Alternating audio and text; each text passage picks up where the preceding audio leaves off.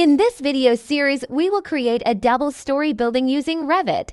We will be creating this building in small, easy steps. We will create a new project file. Select Architectural Template and click on OK to open a new file. We will use US Imperial Units. You can download the link of the architectural template and project AutoCAD file in the description below. We will insert AutoCAD file as our CAD link. Make sure Level 1 is opened. Now go to Insert tab and then click on Link CAD button. Select Ground Floor Plan. Now choose option Current View Only. We will change the color of the link file elements to black and white. Now we will select the units for import. I will select feet. Now click on Open to link the CAD file here. Our CAD link is inserted here. Now we will select this CAD link. To move the CAD link, we need to unpin it. Click on the pin to unpin it. Now move the link to desired location. We will place our link at the center of elevation markers. Now we will pin the link again to keep it fixed at its location. Now let's create grids. We will go to Architectural ribbon. In Datum section, we will click on Grids. We can create grids lines by drawing them or we can use existing lines of the CAD link to draw grids. We will use Pick Lines button. Now click on the grid line in the AutoCAD link. We can see our grid is created. Similarly, we can create few more grids. Revit will automatically assign next number to new grids. Now we will create horizontal grids. Click on the grid line of AutoCAD link. Revit has assigned the number 9 to the grid. We will change this grid to A. We will uncheck the checkbox from End and we will show the grid to the start. Similarly, we will create more grids in the horizontal direction.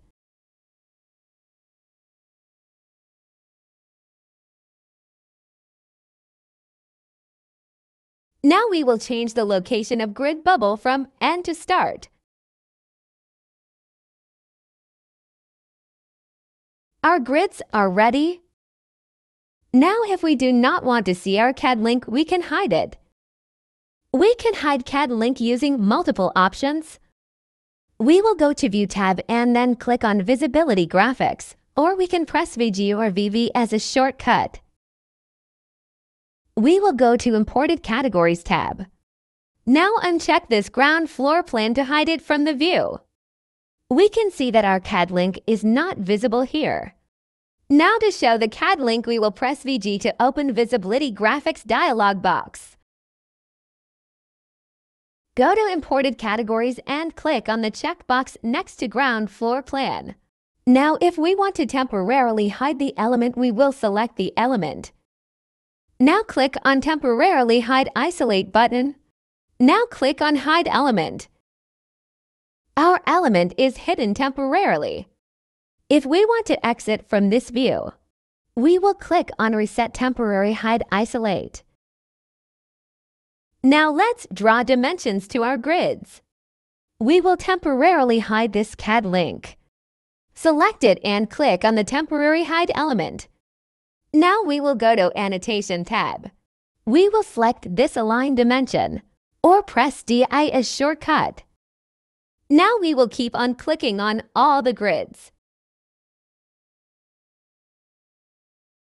Now click on the open space to finish the command.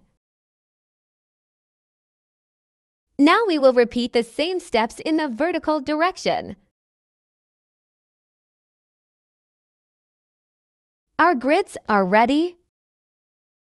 Now we will click on the Reset Temporary Hide Isolate to show the CAD link. We can see CAD link dimensions and Revit dimensions. Now let's create a new level. We will open Elevation View. Now go to Architectural tab. In the Datum section, click on Level button. Now we will draw a line to create a new level. We can change the height of level by entering desired elevation. We will change it to 12.5 feet and top level to 24.5 feet. Now we will move all the grids by clicking on this small circle and dragging it above the roof level. Now we will start creating walls. In this project, we will create a 14-inch thick cavity wall. This cavity wall will have 4-inch thick exterior block masonry wall, 8-inch thick block masonry interior wall, and 2-inch cavity for insulation. To create wall, go to Architecture tab and then click on Wall button. Now click on Edit Type and then click on Duplicate. We will name it as 14-inch thick cavity wall. Now click on Edit Next to Structure. Now we will insert two more structures here. 8-inch thick structure is already there so we will change the first one as 4-inch thick. Now middle structure will be 2-inch thick. Now we will assign material to our structures. Select concrete masonry unit this material has block masonry pattern. Now we will assign the same material to our 8-inch thick wall.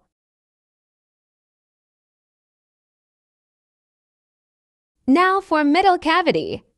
We will change the structure to thermal air layer. Now our cavity wall is ready. This is the plan view of our cavity wall. We can see the section of cavity wall from here. Now press OK.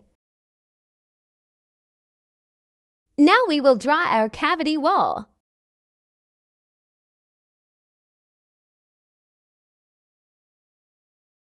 Here we don't see the details of our cavity wall. We will change the details level from coarse to fine. Now we can see there are three different structures in our cavity wall. We can see 4-inch wall is shown inside, so we will flip this wall. Similarly, we can create all the walls by tracing them from the CAD link file. We have created all the walls, door and windows by tracing them from the CAD link file. Now we will create floor. Open Level 2. We can see the walls from the ground floor grayed out. We will draw floor on top of these walls. Go to Architecture tab and then click on Floor button. Click on Edit Type and then create duplicate floor.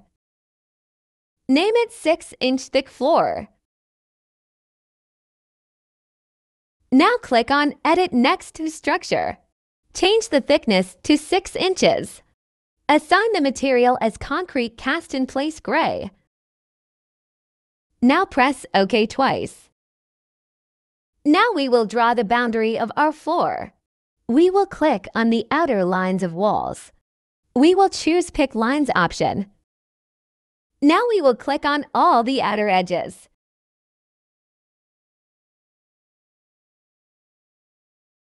Now click on Finish button. We will attach to the walls to the bottom of floor. Floor is created. We can see this floor in 3D view. We can see all the walls are attached to bottom of floor. Now let's copy all the walls, doors, and windows to first floor. We will select all the elements by making a window around them. Now click on Filter button. Click on Check None and then click on Walls, Doors, and Windows. We have selected Walls, Doors, and Windows. Now click on Copy to Clipboard. Then click on drop-down option of Paste. We will paste Aligned to selected levels. Now we will choose Level 2. We will open the 3D view to see the walls. We can see that all the walls, doors, and windows have been copied to our first floor. Now we will open level 3 to create roof. At level 3, we can't see the walls below. We will go to the properties of level 3. Here we will go to underlay. We will change the range base level from none to level 2. Now we can see the walls coming up to level 3. Now let's create sloping roof at level 3. Go to Architecture tab and then click on Roof button. We will create a sloping roof on top of these walls. We will keep the Define Slope checkbox on. Now we will select Pick Lines option. For overhang, we will type 3 feet. Now we will click on the external walls to create a roof.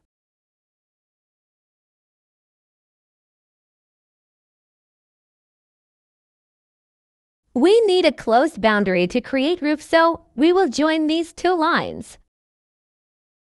Now we have a closed boundary. Now we will create our roof type by clicking on Edit Type. Duplicate this roof and name it 6-inch thick concrete. Now we will edit the structure of this roof as 6 inches. And assign the material as concrete cast in place gray. Now we will finish our roof. To see the roof, we will open 3D view we can see concrete sloping roof has been applied.